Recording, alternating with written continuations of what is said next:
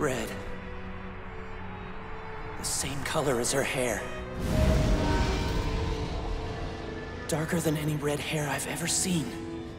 Just like the color running down my hand. Long, beautiful crimson hair. Just like this. Not today. I will not let you die.